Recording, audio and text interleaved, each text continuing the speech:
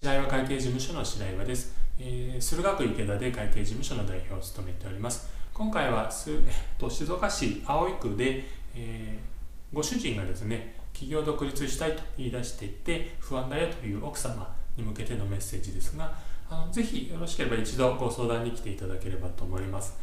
えっと、やはり、えー、企業独立というのはですね失敗する可能性リスクが高いですので不安になられる気持ちはよくわかります。ただ成功してあの大きく稼げる可能性もありますのでねご主人の可能性の目を摘み止まらないように一度、あのご相談に来ていただくのがいいかなと思います。ご相談していろいろお話しする中で不安を取り除ければいいんじゃないかなと思いますので、えー、静岡市葵区でご主人が独立しようとして不安だと思われている奥様ぜひ一度ご相談に来ていただければと思います。